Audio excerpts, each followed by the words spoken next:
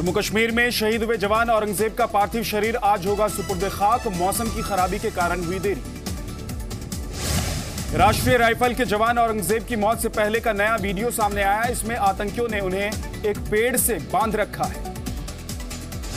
इस वीडियो में आतंकी औरंगज़ेब से सवाल जवाब कर रहे हैं। औरंगज़ेब बेखौफ होकर आतंकियों के सवालों का जवाब दे रहे हैं।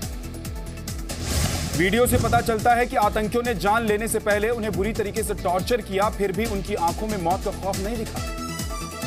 सूत्रों के मुताबिक औरंगज़ेब की हत्या में शामिल चार आतंकियों की पहचान कर ली गई है। अपहरण में ऑल्टो कार का इस्तेमाल किया गया था। दो आतंकी हिजबुल के और दो लश्कर के थे। एक का नाम जहूर अहमद टोकर है, जो पहले टेरिटोरियल आर्मी में था, पिछले साल हिजबुल में शामिल हुआ था।